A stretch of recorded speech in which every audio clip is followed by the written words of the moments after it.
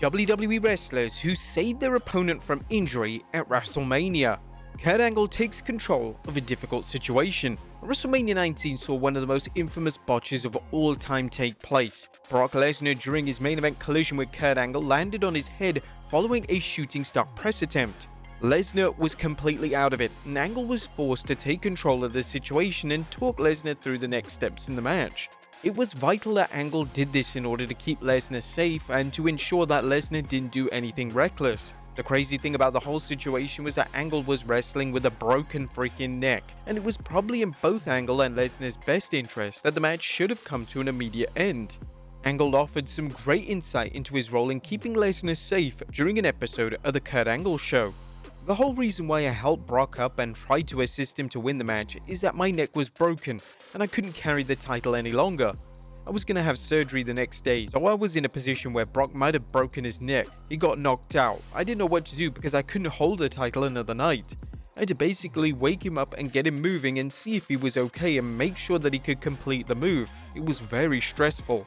Those 15 seconds were one of the most stressful situations that I've ever been in, but Brock being the beast that he is followed through, hit the F5 and he won the World Championship. The Usos' smooth exit. Night 1 of WrestleMania 38 kicked off with the Usos versus Rick Boogs and Shinsuke Nakamura. Unfortunately, the match fell apart when Boogs legitimately tore his quad when lifting both Jay and Jimmy. Boogs needed to get out of action as soon as possible, and if Boogs had taken any more moves in the match, he could have risked further injury. When the injury first went down, Jay and Jimmy were incredibly quick to act. While staying in character, both members of the Usos simply rolled out of the ring. This allowed the referee time to communicate with Boogs as well as his partner Nakamura, and collectively a new impromptu finish was pieced together that wouldn't include the injured Boogs. Rhino's slight adjustment. A TLC 2 somehow managed to exceed the first ever TLC a few months prior. For TLC 2, the three teams involved ramped up the risks and some of the spots in the match were like nothing ever seen before. The match also included numerous side characters such as Lita, Spike Dudley, and Rhino, and this style of booking could have been chaotic and nonsensical, yet WWE made it work. Spike Dudley and Rhino were involved in a huge spot towards the end of the match, and it saw both of them get put through a table by Jeff Hardy. Hardy would perform a swanton bomb from the top of the 20 foot ladder, and this spot received one of the biggest reactions on the pay per view.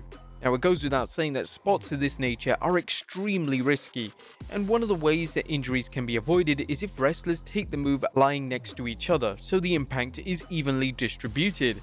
Rhino realized before Hardy was about to land that he was a few inches away from Spike, so Rhino discreetly shuffled along to make sure that he received his fair share of the high risk bump and in turn reduced the risk of Spike coming out with an injury. Triple H's quick thinking saves The Undertaker. It was a tradition during The Undertaker's WrestleMania matches that he would often perform a dive to the outside. When the dead man performed the move during the match with Triple H at WrestleMania 27, The Undertaker looked like he was about to land on his neck. It's hard to see clearly, yet it appears that as The Undertaker is about to land on his head, the game subtly rotates him in midair, so Undertaker basically takes most of the impact on his back and shoulders. Triple H clearly communicates with The Undertaker after landing to make sure he was okay, and this was another great example of the cerebral assassin being a total pro in the ring. Roman Reigns abandons key spot. WrestleMania 33 was initially designed to feature The Undertaker's final ever WWE match. The Dead Man was going to retire in the main event following his match with Roman Reigns, yet due to several reasons, mainly the quality of the match itself, the Dead Man ended up having numerous more matches in the company. The match itself wasn't at the level both men wanted, and there was an endless number of spots in the match that were dangerously botched and could have led to substantial injuries occurring. One spot in the match was supposed to see Reigns pick The Undertaker up for his own version of the tombstone, Unfortunately, due to sheer exhaustion, the dead man was unable to flip his body over. Reigns tried several times to make the spot work, but when he realized that if he proceeded, The Undertaker could potentially fall on his head, he made the call to abandon the spot.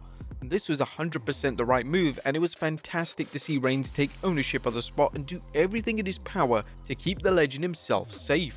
Mr. Kennedy goes the extra mile. One of the most thrilling spots during the Money in the Bank ladder match at WrestleMania 23 saw Mr. Kennedy deliver a Green Bay plunge on Hornswoggle from a ladder.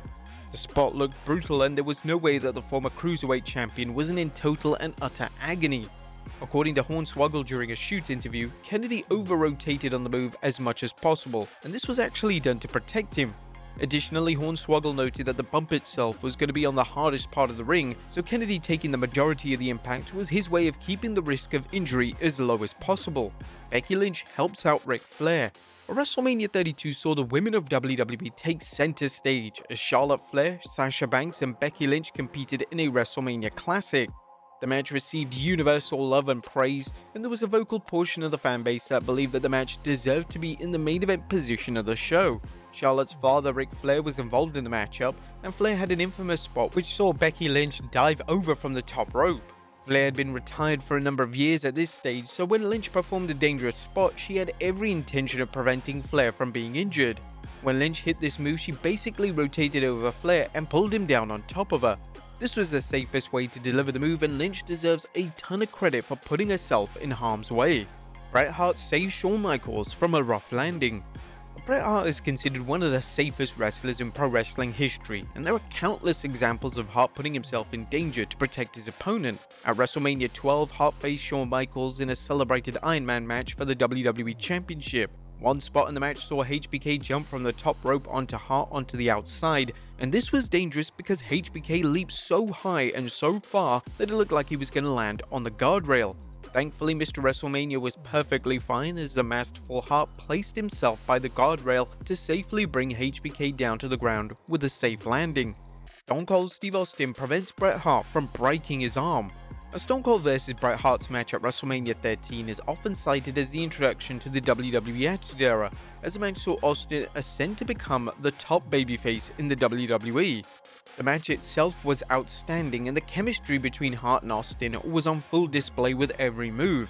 Although Hart was a veteran in the match itself, Austin showed the world why he was going to be the ring general for years to come. As Austin clotheslined Hart over the guardrail, Hart's arm got stuck, and to save Hart potentially breaking his arm, Austin simply went over the rail with Hart in order to free his arm.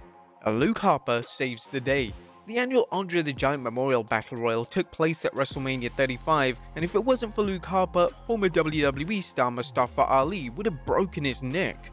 The incident in question began when the late great Harper would hoist Ali up for a suplex on the edge of the ring. The initial spot was supposed to involve Braun Strowman kicking Harper off the ring apron and Harper and Ali simply falling to the ground. However, Strowman missed his cue, and this is when Harper shouted across to Strowman to remind him of his spot. Strowman then performed the planned spot, and as Harper and Ali were coming crashing down on the outside, Harper had rotated Ali in midair as Ali was gonna land right on his neck.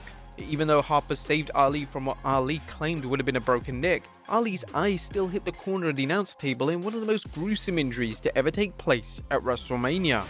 There you have it folks, WWE wrestlers who saved their opponent from injury at WrestleMania.